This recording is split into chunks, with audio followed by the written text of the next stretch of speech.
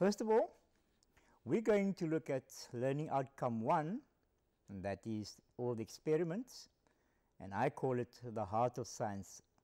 In there you would normally do some planning for your experiments.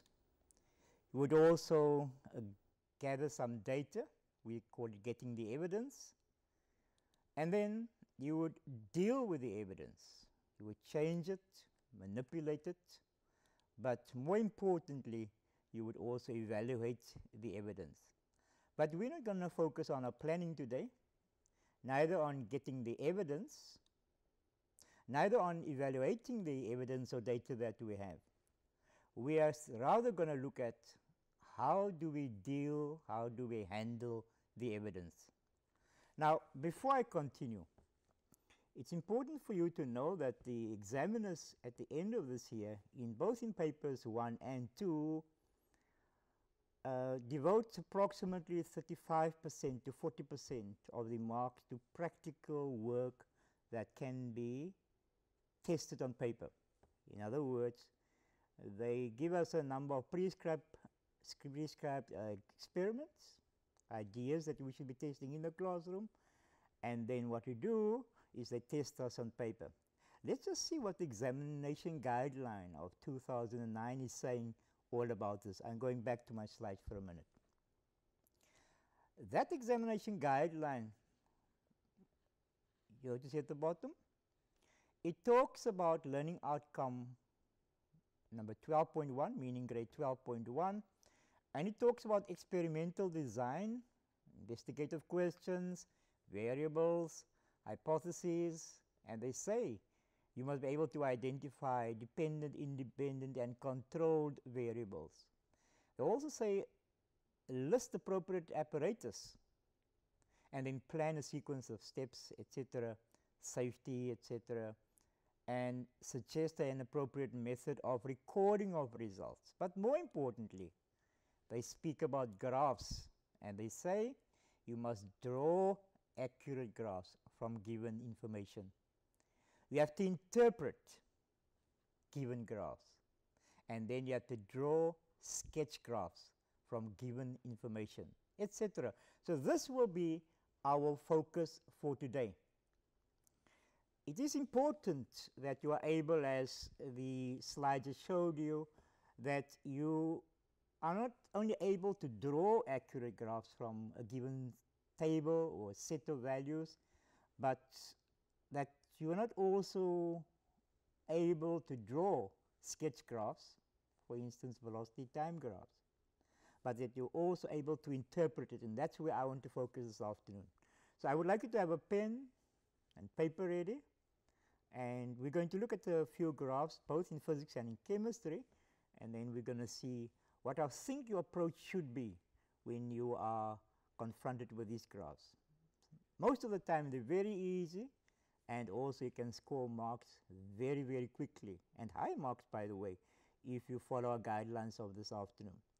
First on I want to go to a set a graph that was given in last year's paper in the physics paper 1 and it was in the multiple choice questions and this is what the graph looked like. The graph was a position which is in meters your position from the origin versus time graph.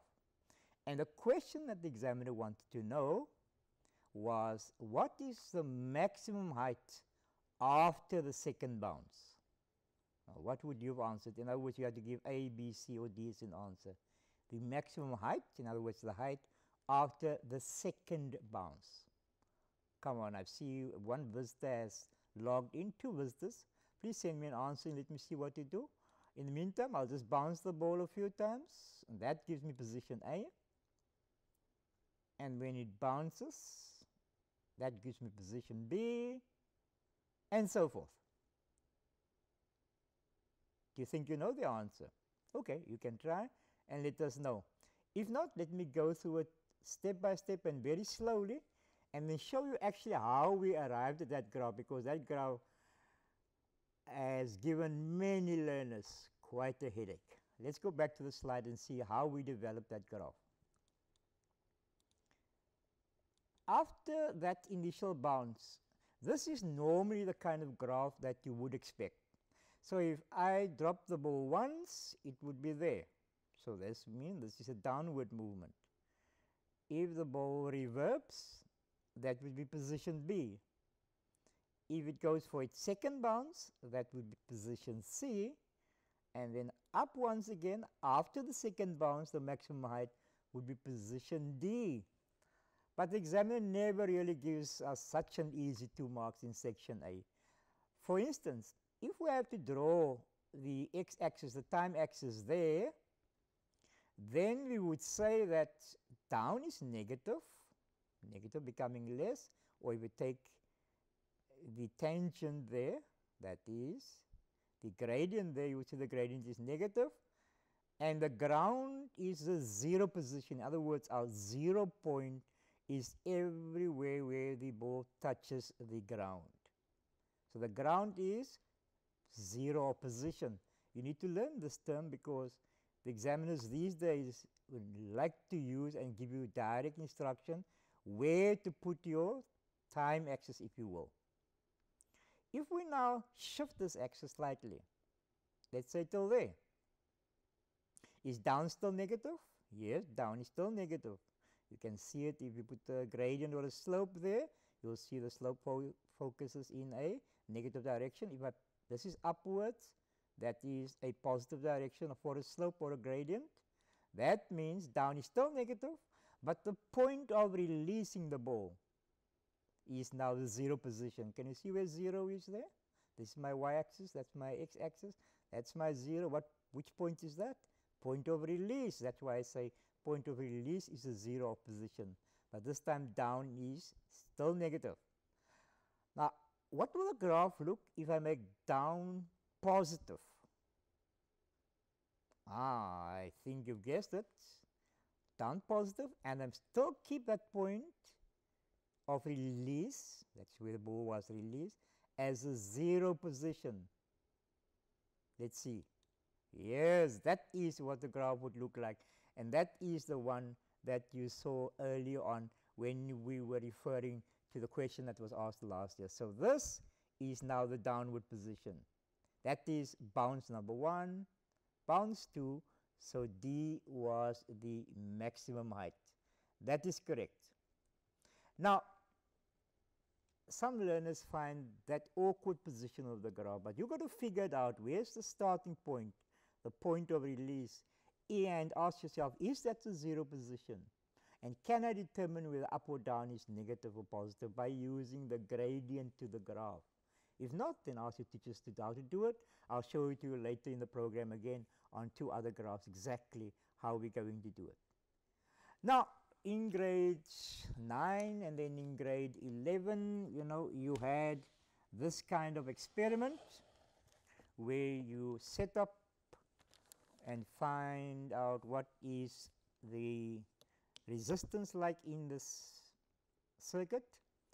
Or you could find what the current is if you will by using an ammeter remember in series. And you would use a voltmeter and then take it a voltmeter in parallel over a resistor, let's say that one there, and or over resistor like this one here. Anyway, in the circuit for the matter, or even measuring the EMF of the battery when the circuit is open. So you can actually use it. And this is the kind of circuit. This is, by the way, is our, if I go back to it, this is our rheostat here, our variable resistor. So we can change it, make resistance greater or smaller. By the way, this is used for ohms to verify Ohm's law.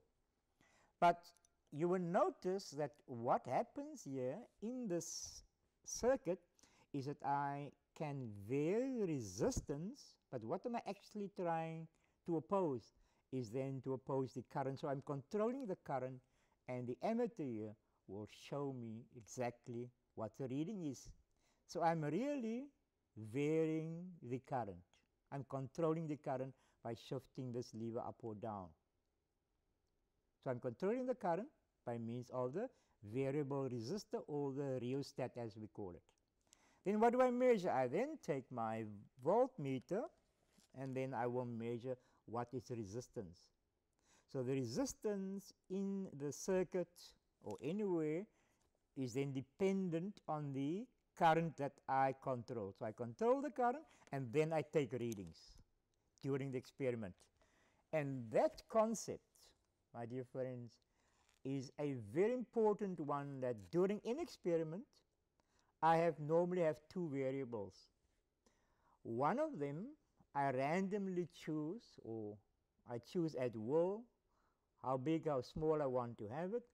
And then I take a second reading which is dependent on the first one, the independent variable. Now, how would one tabulate such a set of results? Let's go to my slides again.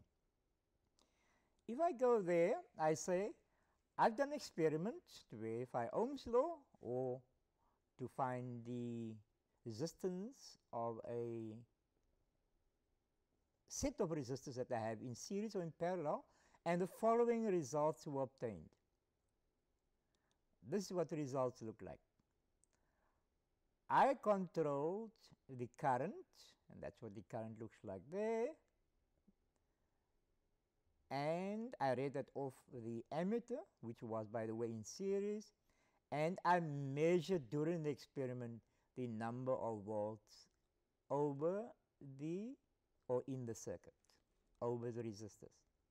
Then I did some calculations there. So that was the experiment. So the question is what happens if I plot it and what would such a graph look like? Let's go back to my screen now. Watch carefully, there's my table again. And here I plotted the coordinates. I plotted point number 1, that means 0, comma 28. There we go. On my x-axis. And I wonder why I'm putting it there. And then 1, comma 4 on my y-axis or my voltage axis, my potential difference axis. Question, why did I put the amperes here? Or the current here and the voltage there on that axis? Simply because this is the one that I manipulated during the experiment. And this one here was the point which I then eventually read during my experiment after I've controlled this. So I control this, I decide on this, I change this at will, and these are the measurements I get as a result. We get that? So this is called my independent variable, and that is called my dependent variable, simply because this depends on these set of results. But last year the examiner also asked another question. He asked learners to write down the coordinates of points that were plotted on a graph. Let's quickly see how one would be writing such a coordinate. Let's take this one here. This point we know is 0 comma 28 versus 1 comma 4 and I think I made a mistake here. Here I've written 0 comma 24 but 0 comma 28 versus 1 comma 4. That is the way I wrote the coordinates of this plotted point. So I take the x value first, semicolon, and then I take the y value and I put it in brackets. That is one point. Can I quickly ask those who are watching, would you be able to write down the coordinates of these two points, either trying to read it directly from the graph or using the table? Would you be able to do so? I'll just give you one minute while I just shift this out of position. Let's see. Can anybody give me the coordinates of this point?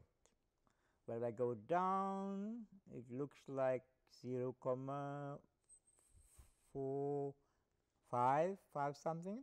And I go that way, it's not quite 3. So what would that point be? Obvious, but I can see it there. It's 0, comma 5 and 2, comma 8. That's right, 0, comma 5 and 2, comma 8. Look at the way I write it. It's called the coordinates, the x, y coordinates. And that point there, something above 8, no? That's right. And that point across that way, something roughly just over 4. That's correct. There I read it 0, comma 84 and 4.2. Now, learners, ensure that you can write coordinates. I once the examiner done it once they will keep on asking such questions. So ensure that you bring your mathematics into the science room and they exactly know how to do that.